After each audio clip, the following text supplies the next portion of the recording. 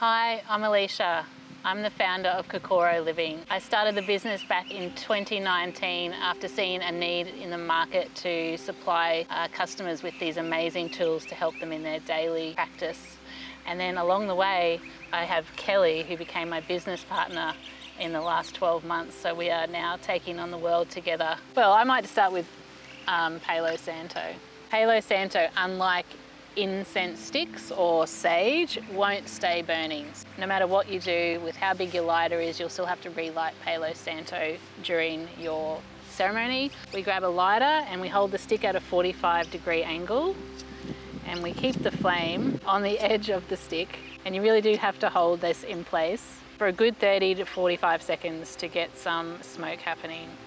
That's because the oils in the Palo Santo make it difficult to stay lit. So once you've got a flame, and because the smoke is really what we're looking for here, we're using the smoke as a cleansing energy, as air energy.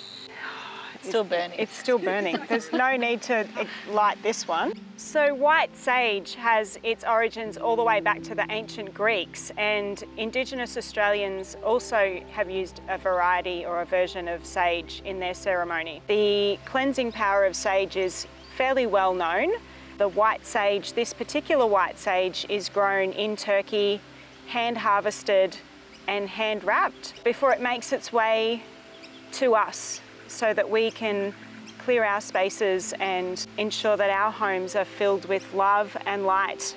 So not only does sage clear energy, it also clears over 90% of the bacteria in the air which is a beautiful thing, particularly in those winter months when the bugs are around.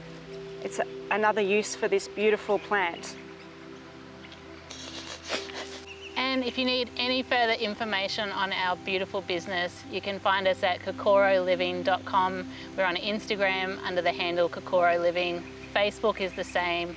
Basically anywhere you can find us, chuck in the tagline Kokoro Living and we'll be found. And if you join up at our website, sign up to our mailing list, which we promise never to spam you. We're just here for uh, exchanging of energies. Sign up to get our free smudging guide. It's 20 pages long, talks about the history of smudging, uh, how to do it, all further information, anything that you need, it's in that guide. So check it out.